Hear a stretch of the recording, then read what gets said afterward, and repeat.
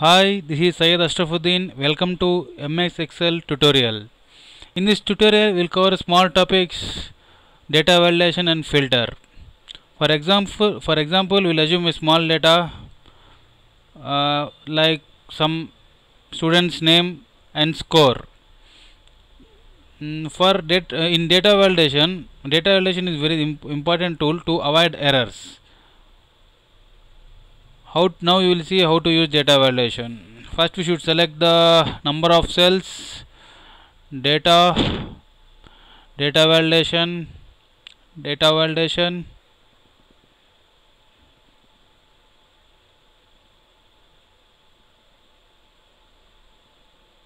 Here we have to select whole number data in between minimum marks. We'll, we'll assume some marks 0 to 100 and alert we should select some alert. Style stop.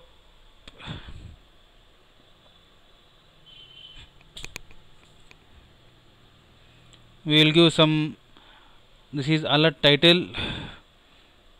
Mm, outside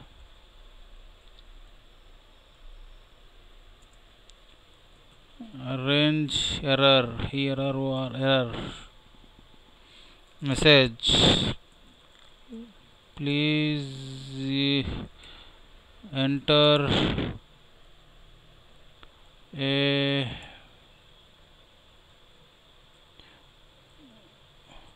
value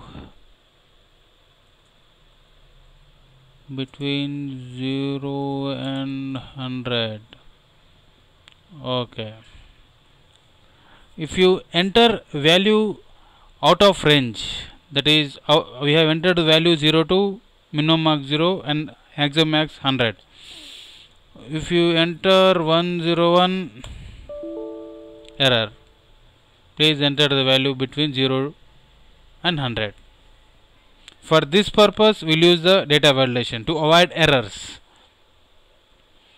Okay if you enter 20 30, 25 24 26 100 99 if you enter 120 then error will come.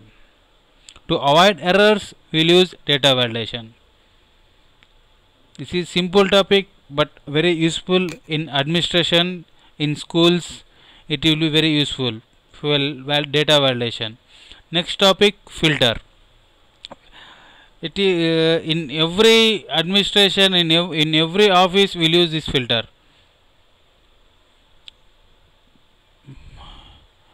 Which first we select the headings.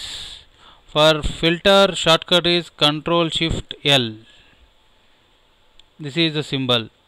Down down arrow mark. If you again click control shift L L it will go. Or or in data here we can select filter. Now now in the we'll assume a small data serial number name score. This some student A B C D E F G mm, and their and their scores. If you uh, now we want the how many students scored 10 marks? Then we should select this. 10 Okay. Student A these members scored 10 marks. Then again we will see how many students score 40 marks. Two students student f and g scored 40 marks. This is very important topic in ms excel in 7 10 13 now newly ms 16 it is very important tool.